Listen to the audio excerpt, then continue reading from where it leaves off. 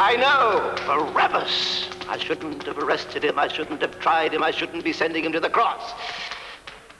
You're taking the advice of Tullius.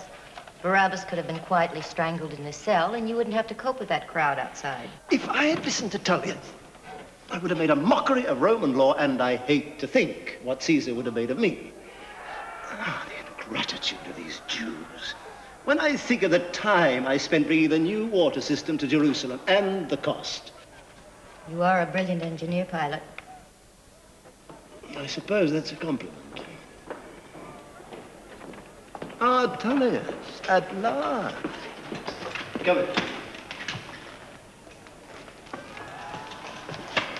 Tullius, we need your advice. Perhaps you could indicate a little more clearly what you have in mind. Something that will sit well with Caesar. As you know, Caesar has ordered no compromise with Jewish extremists, particularly with mob heroes. You'll have to crucify Barabbas. Do you have an alternative?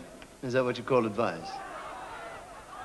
Do you understand what's going on out there? Do you want this demonstration to turn into another uprising? If you don't crucify him, you'll offend Caesar. On the other hand, if you do, I suppose you'll have an angry mob at your throat. Thank you, Claudia. That's exactly what I need at this moment. My wife's analysis of the obvious.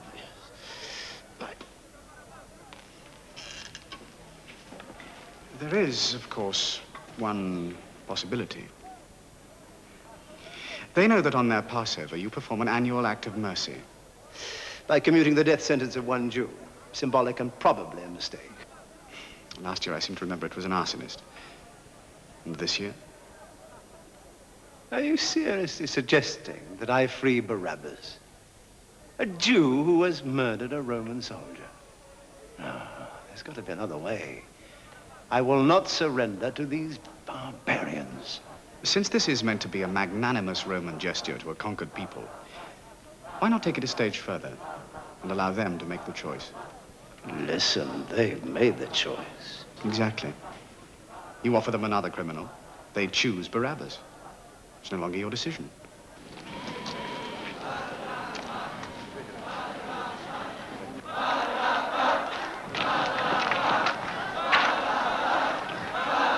Barabbas. Listen to it. These days I can understand. You must hate leaving the peace of the temple. The peace of the temple.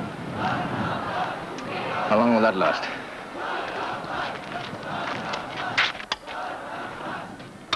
I don't envy you. Not the easiest time to be high priest of Judea. Indeed not, Nicodemus. Barabbas kills one Roman soldier and the Romans retaliate. A hundred for one. It's not the kind of arithmetic I favor. Do any of us. Revolutionary zealots. Their heroics cost precious Jewish blood. Well, Joseph Caiaphas, I am grateful to Barabbas for one thing. If nothing else, he's taking your mind off Jesus. Well, that depends on whether you have made my warning to him clear. You know this heretic has been seen just outside the city? Let him dare enter it once again, and I will have him arrested by the temple guard.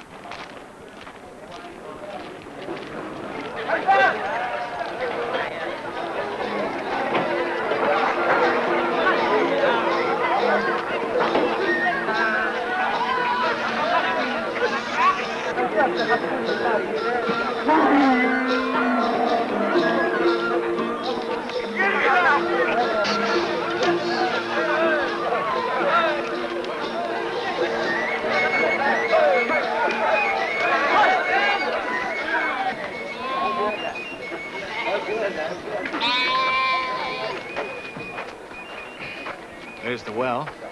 There's the man with the pitcher. Peter, how could he know that the man with the pitcher was going to lead us to the Seine? He arranged it. You can't all be miracles, you know. There's a practical side to them, too. Peter?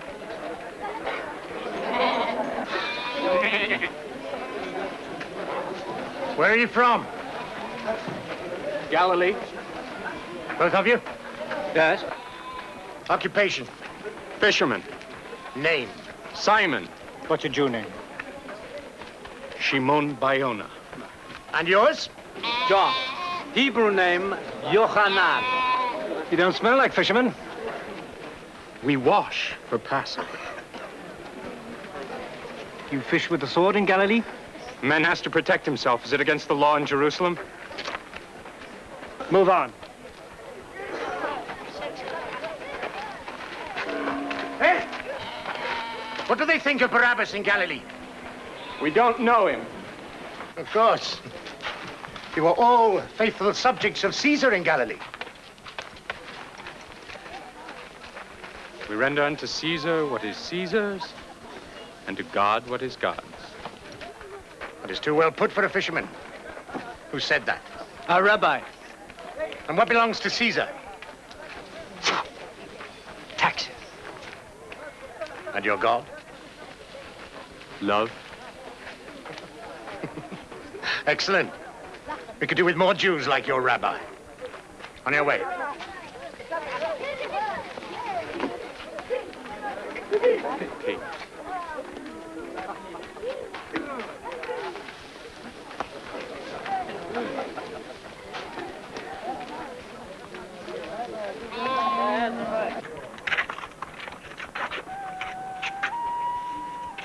I'm Jacob.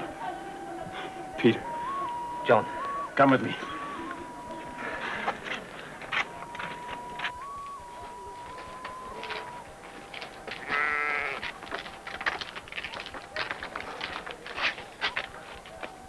When is he coming into the city? In time for the Seder. I was hoping he'd changed his mind. It's foolish, very foolish.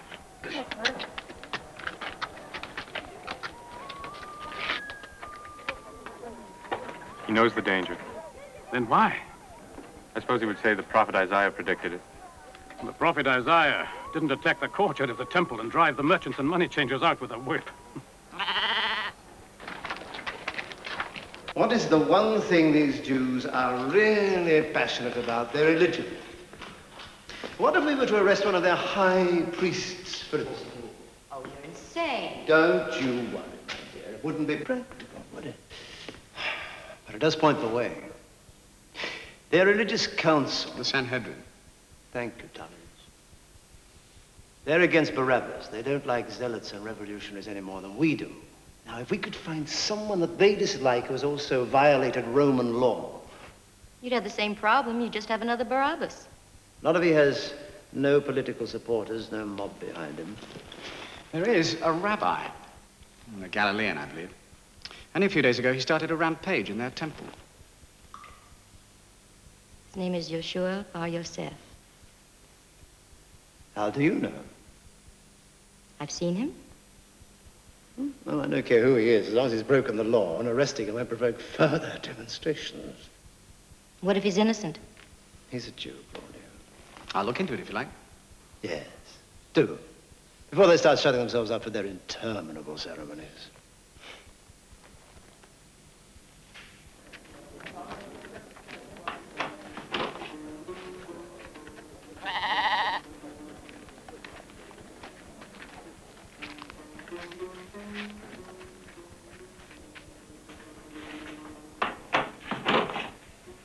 Will the others be arriving?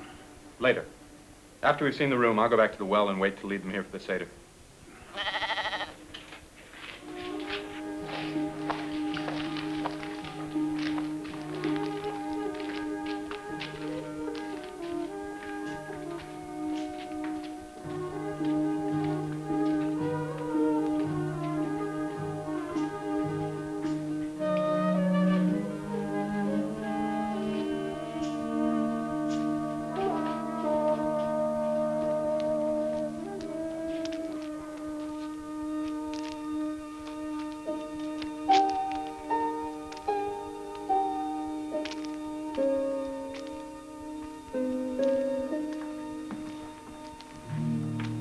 Approve, Peter?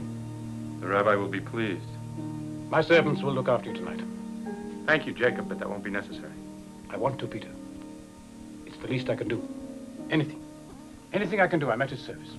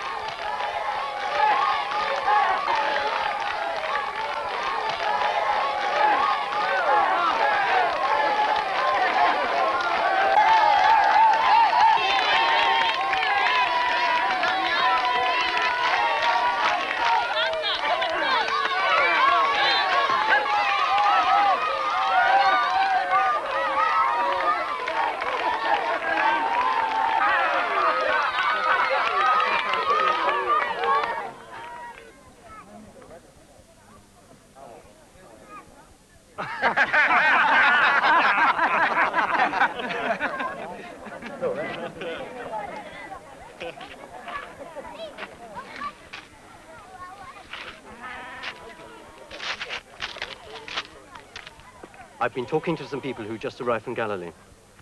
There's been rioting there. The Romans have killed more than a dozen people for protesting against Barabbas' sentence.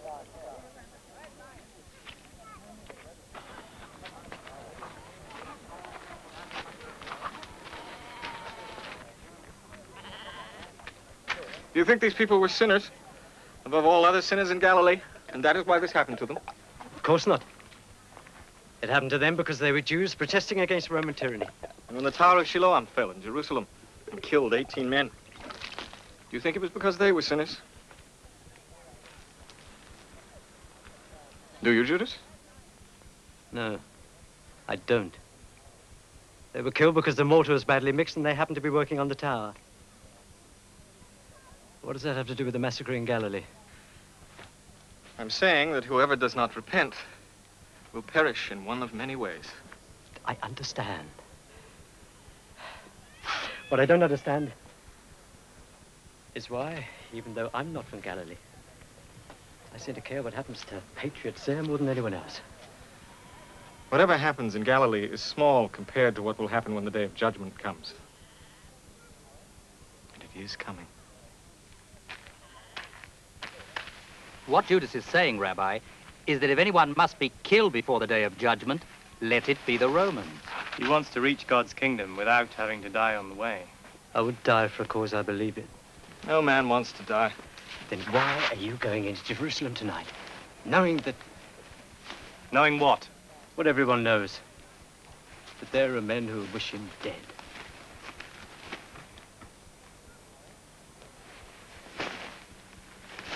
It is necessary that the Son of Man go into Jerusalem on the Passover, suffer at the hands of the lawyers and the priests, be betrayed and crucified, and then raised on the third day.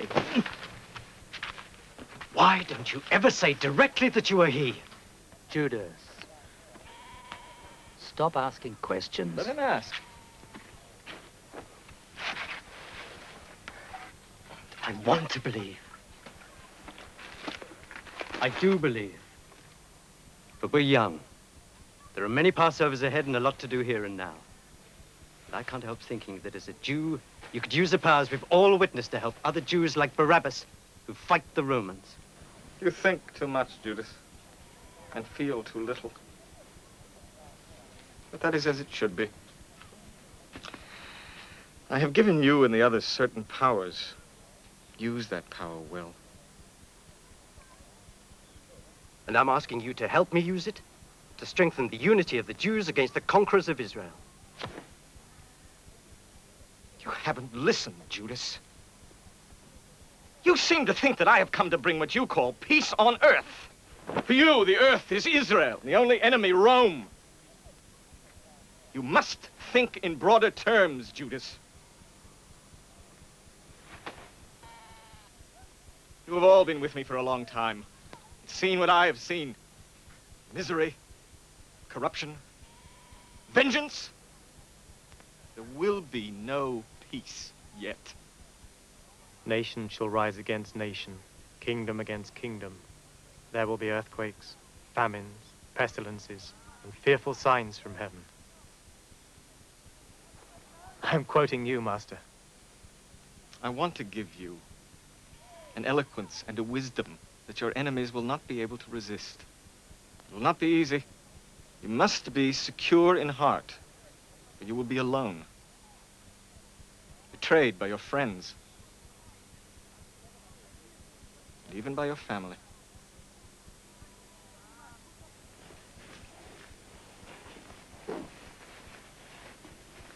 You are the master of the house. But you should have asked me. Why, Ruth? I've never doubted your hospitality. Passover is a family feast. Why take risks? Some people are worth taking risks for. And he is one of them. What do you think will happen if they find him here? Happen? Does something have to happen? Jacob, every child in the street knows what Jesus did in the temple, and to you, among others. It's Pesach, Ruth. Please. What do you think will happen if they find him here? You'll be ruined. Yes, perhaps. You find humor in ruin? No. But something inside me finds a certain joy in his words. Every time I hear him speak, it's like an illumination. What profits a man to gain the whole world and lose his soul?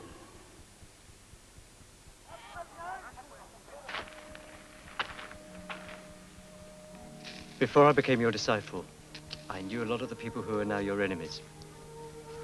When we came to Jerusalem, I didn't think they'd recognize me. But they did. The first day at the temple, they tried to talk to me. I know. How? I saw them. Well, why didn't you tell me? Oh, oh, you confuse me. Why do you think I've been trying to stir up your anger over what happened in Galilee? To turn me back to Galilee. Now? Yes. I've seen you angry before. Why not now? Of all my disciples, I've sometimes felt closest to you because you've understood my words best. But what you expect of me, Judas, is so much and so little. Life here instead of life eternal through my death. If you think you can change that, for my sake and yours, I shall neither stop you nor judge you. What do you mean? I'd rather die. I know that too.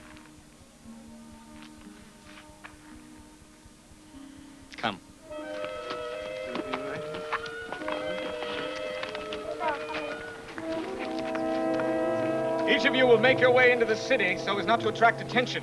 This is most important. Nothing must happen until the Seder is over.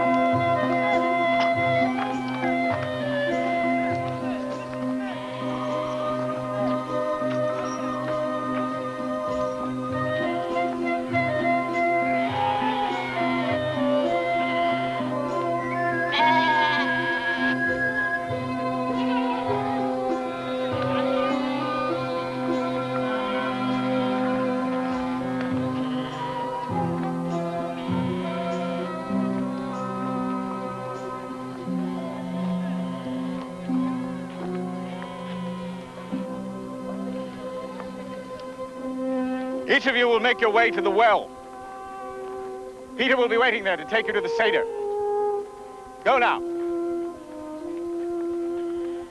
And be careful.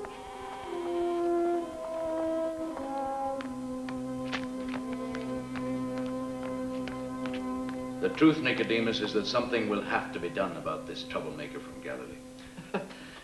Joseph of Arimathea and I are not the only members of the Sanhedrin who see no wrong in Jesus, apart from a few departures from the Torah.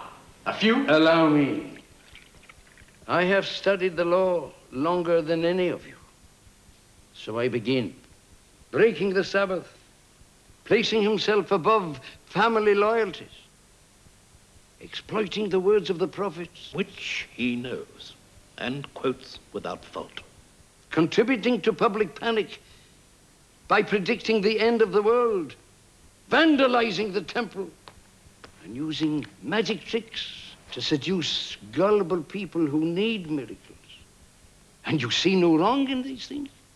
If the angel saved Isaac, and the walls fell down at Joshua's trumpet, and Moses brought the plagues on Egypt, why shouldn't miracles happen? Because those were ancient times. And who knows what happened? This is today, now, modern times in Jerusalem. Face reality. We're a conquered people, Nicodemus. The miracle we need has nothing to do with making wine out of water. Apart from the miracles. And you know how things get exaggerated. He's done very little more than most of us have done at one time or another. When was the last time you claimed to be the Messiah? Can't you control your son's tongue? Aaron, please. No. Forgive me, Father. Good Pesach, gentlemen. Oh, uh, Father, there was uh, a Roman officer at the gate a while ago asking questions. About what? He was particularly interested in Jesus. Did he say why? I thought you'd like to know, so I asked him. And? He answered me with a question. Where is Yeshua Bar Yosef in perfect Hebrew? Well, what did you tell him? The truth, what else that I don't know? But no Roman ever believes a Jew. They've been talking about him for the last hour. Have you ever seen him? Yes. I've also heard him speak Where? in the synagogue. Jesus' crime is not in his claim that he is the Messiah. The prophets tell us to expect one in these years. No. The blasphemy is in his heresy. And that is so monstrous that even were he a model Jew in all other respects, it would damn him. What heresy? I'm aware of no heresy. Because you are not a religious scholar, Nicodemus. A heresy that demands the understanding of a religious scholar can hardly be serious. The voice of the Philistines. That's enough, Aaron. Try to understand. On the day of judgment, how will the one and only God, blessed be his name, judge us? By our faith in him. No. You are as wrong as he is. Judgment depends on what you do, the way you conduct your life every day. God judges you for your honesty, your charity, your love for your family, your obedience to his law. I mean, faith in itself is not enough.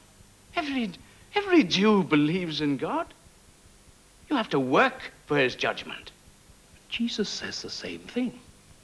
He says to feed the hungry, to clothe the naked, to take care of the sick. Where is the heresy? The heresy is that he claims the power to forgive sin. Only God has that power. He says, along with the other radicals, that the Sabbath was made for man and not man for the Sabbath. And in this, he is putting himself above the law which God has given us. And above all, he says, believe in me and you will be saved. Don't you understand?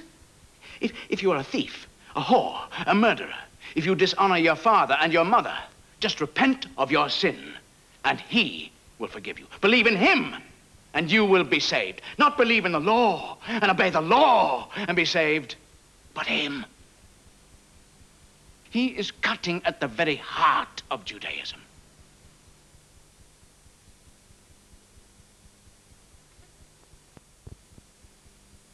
Sire. Their old manuscripts and sacred books predict one just about now. No one really believes in it. But um, since his arrival signals the end of the world, aspiring messiahs like Jesus tend to make the Jews a little nervous. But is he a criminal? Their lawyers and rabbis take a poor view of him. I have a strange feeling that given the uh, proper encouragement, they might even charge him with blasphemy. That's not enough. The Jew we want must also have violated Roman law, or at least appeared to have done so. There's an old political device, Tullius. It's called a fixed trial. This report says that he calls himself king. King of the Jews? That's not bad. That could be read as sedition. There's only one king, and that's Caesar.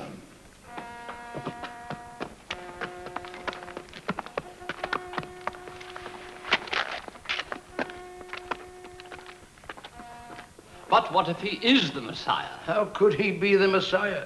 He's not even a good Jew. Nevertheless, what if he is? Wouldn't that put you, Joseph, as the spiritual guide of the Jewish people, in a somewhat delicate position? I don't think we should do him the honor of allowing him to spoil our Passover, nor to divide us any further. We all agree on that, I hope. If only he'd stayed in Galilee. Excuse me, Master. A Roman soldier just brought this. He said he'd wait.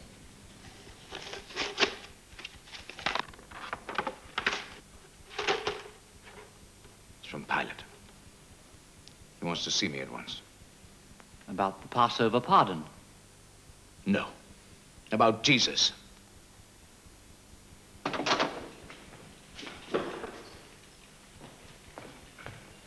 Tullius? I'm sorry it took so long. I stopped to get this. It's a list of the men who traveled with Jesus. For what purpose? They may try to help him escape. I've tried to find out as much about them as possible. They're mostly fishermen. Fishermen? Go on. The two known as Peter and Andrew are in partnership with James and John. They seem to have employed several of the others at one time or another. Well, Claudia, now you know where to get fresh fish. Shall I go on? yes, Tullius, please do. Simon, also called Peter. Hebrew name Shimon Bar Yonah, native of Bethsaida.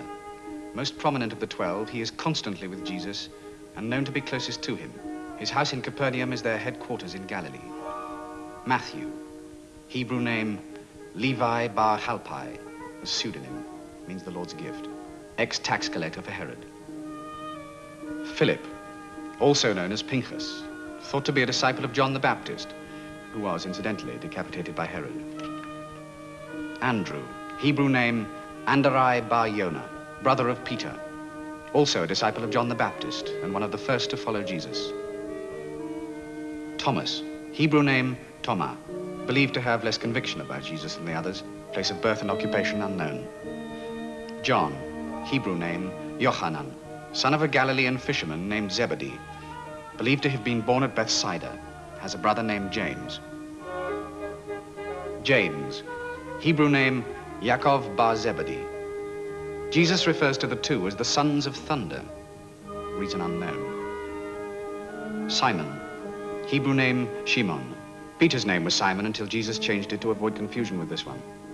Nathaniel means gift of God. Hebrew name Bar Talmai. Comes from the village of Cana in Galilee, brought into the group by Philip. James the Younger, Hebrew name Yaakov Bar Halpai, occupation unknown.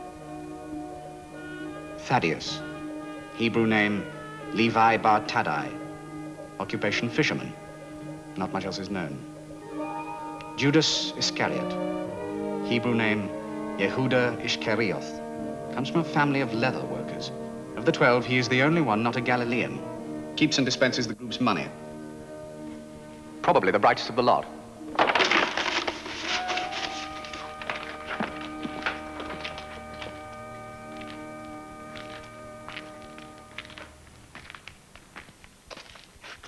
I am the high priest, Joseph Caiaphas. Yes, Rabbi, I know. The procurator is expecting you. Come this way, please. I'll wait here. He'll understand. Understand what? That a Jew defiles himself by entering the home of a Gentile. I'll be back.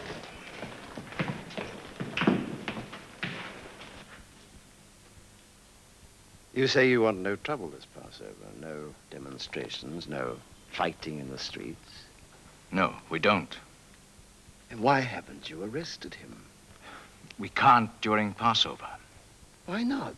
I've seen your temple guards arresting pickpockets. Pickpockets, yes, Excellency. This is not quite the same thing. I want him arrested and brought to trial. It's against our law to convene the Sanhedrin for a trial on Passover. You're not obliged to call it a trial. Thank you, Excellency. But it's more complicated than that. He has a highly volatile following. You mean revolutionary and dangerous? Besides, we don't know exactly where he is. Oh, I know you, Rabbi.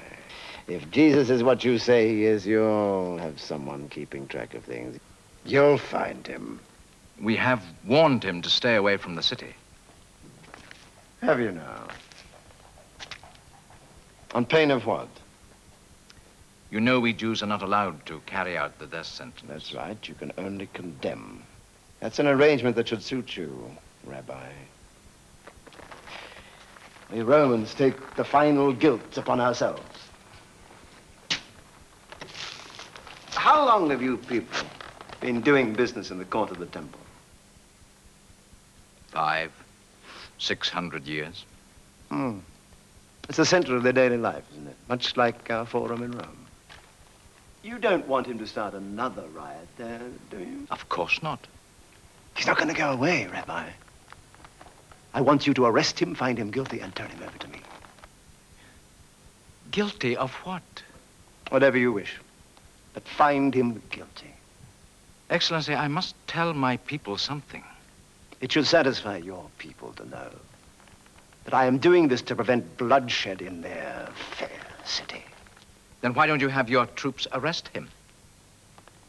You know, Joseph Caiaphas, there are a dozen men who would give anything to be appointed high priest in Jerusalem.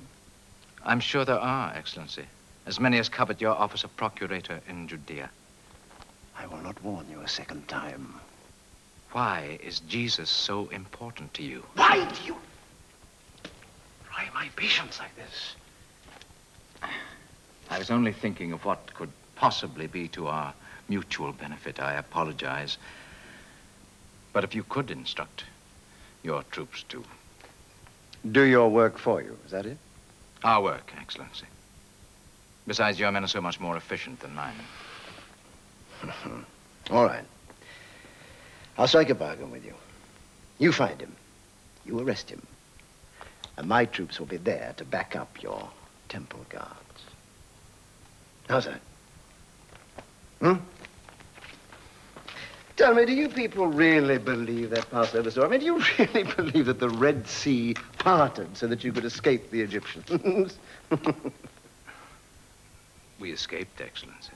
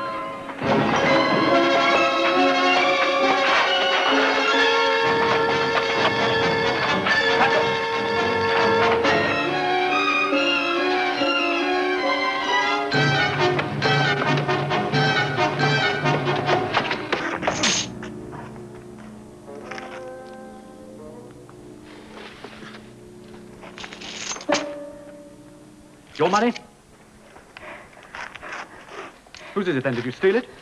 No. I believe you. Uh, give it to me. It belongs to other people. Who? They're friends of mine. Oh, that's what I thought. And I know the names of at least one. Of course I know yours. You're Judas. Judas of Kerioth. No, you're mistaken. No, I'm not. They pointed you out to me the other day at the temple. What do you want? To know who else is in the city? Jesus, for instance. I don't know where he is. I swear, I don't. The one you'll have to convince is the high priest. What possible interest can Pilate have in Jesus? If anything, Jesus has gone out of his way not to offend the Romans. I know Pilate. He has some devious purpose in this. From what you said in the past, I should think you'd be happy to hand Jesus over to him. Jesus is dividing us with his fanaticism. And anyone who divides us feeds the Romans. If I had not listened to you and his other so-called friends, I would have had him arrested after the outrage at the temple. Done what with him? The right thing by my conscience. I would have had him tried for heresy by a properly convened Sanhedrin. With Passover, that is out of the question. What will you do, Mesa? I'll try to find him. And if you do find him? I will do whatever has to be done. Even to handing him over to Pilate? Yes, Nicodemus, yes! The survival of our people hangs by a very thin thread, and I will not have it threatened that much for the sake of any one man.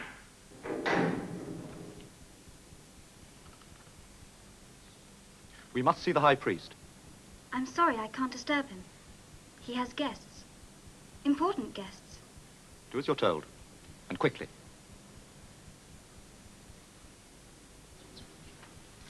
Don't worry. It's not you they're after. Yes. Good Pesach, Rabbi. And to you. I have someone here I think you'd like to see.